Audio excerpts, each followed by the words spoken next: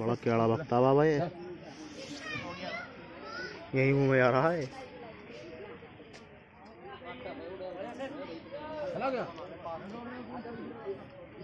हटिए जरा।